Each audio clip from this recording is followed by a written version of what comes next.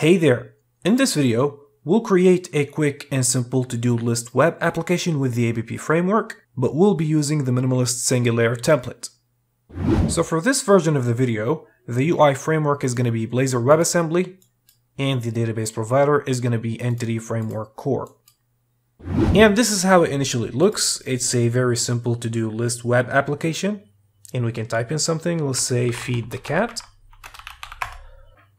clean the house, and for example, make some coffee. So we can type in, and we can get the list, and we can also delete. Let's get started. And the first thing I'll do is copying the install command that will install the ABP CLI for me. And I'm going to open a terminal right here and I'm going to paste it right here and as you can see it's already been installed. Next up I'm going to navigate to the desktop and I'm going to create a new folder right here and I'm going to call it to do app same name as our solution name and I'll navigate to it. And after that, I can copy the command that will create the solution for me, but watch out, we are still in the preview version, so we're gonna have to add some things to this command. I'll be using the same command, but I'm just going to add this part to specify the preview version. And I'm using the second release candidate version, and so depending on the date you're watching this video after its release, if the version right here is 7.1 as the latest or later, then you can use this command. If not, then use this command. So I'm going to copy it, and I'll get back to the terminal, and I'll paste it right here and it's been created. Let's take a look. And this is how the minimalist startup template looks for Blazor WebAssembly. It's obviously different from the app or the domain-driven design template, and it's also different from its fellow single-layer startup templates. It's only got these three projects, the Blazor project, the contracts project, and the host project. The Blazor project contains the Blazor code and the client side. The host project hosts and serves the Blazor application, and the contracts projects is a shared library between these two projects. And so let's get started by copying this command and let's go to the host directory and I'll open a terminal right here and I'm going to paste in the command right here. And this should create the database and see the initial data. And now let's run the project so we can take a look at it before we make any changes to it. And this is how it initially looks. Let's log in.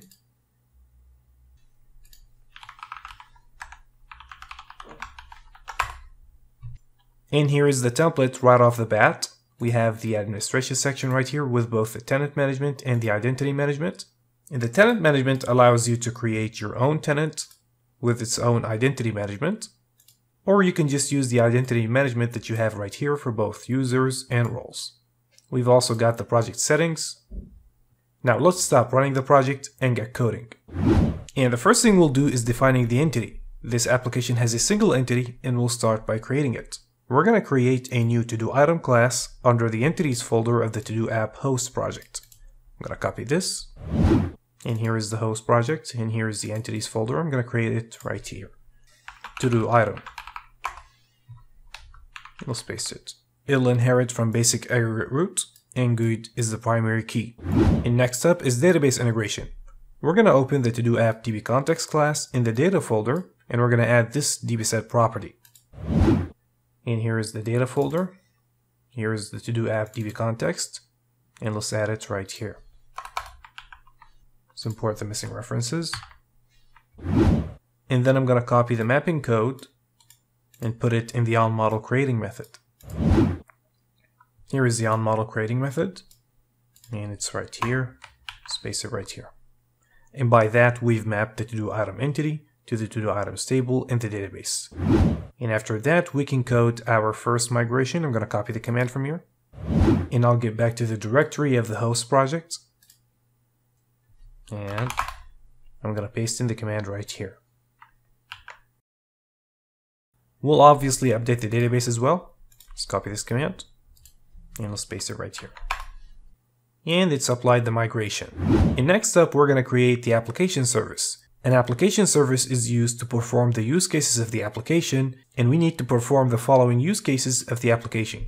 Getting the list of the to-do items, creating a new to-do item, and deleting an existing to-do item, same as we saw at the beginning of the video. But before starting to implement these cases, we first need to create a DTO class that will be used in the application service. You see, application services typically get and return DTOs instead of entities, and so we need to create a new to-do item DTO class under the services and then the DTOs folder of the to-do app contracts project. So I'm gonna copy this, and I'll find the contracts project, the services, and then the DTOs, and right here I'm gonna create it. To-do item, DTO. And I'll paste in the code right here. It's a very simple DTO class that matches our entity with both the text and the GUID. And now let's create the application service interface. We'll create a new i2do-app service interface under the services folder of the contracts project.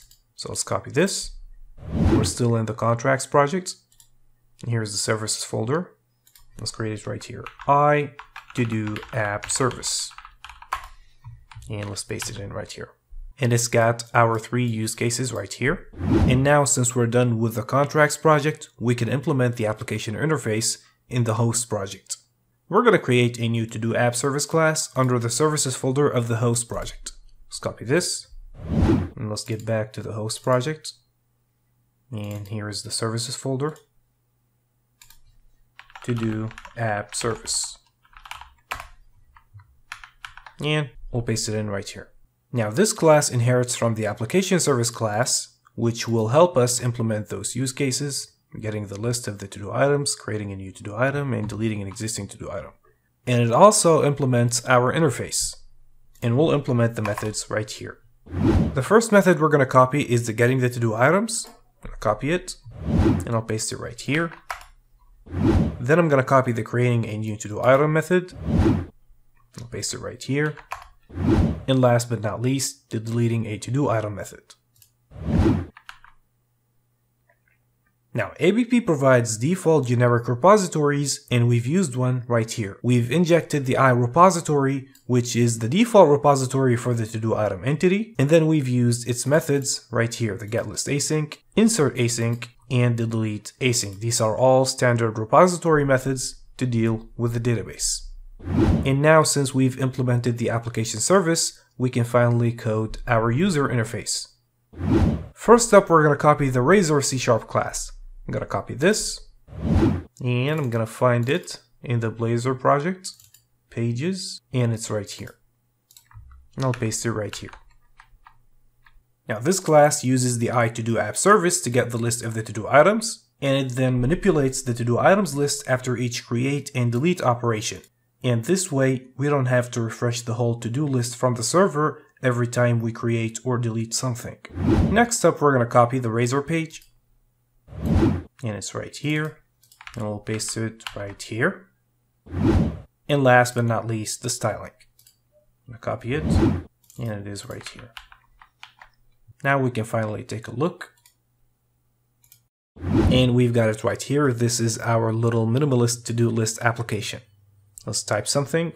Feed the cat, clean the house, and make coffee, for example. So we can type in, we can get the list, and we can also delete. And that's how to create a minimalist to-do list web application with Blazor and Entity Framework Core. See you next time.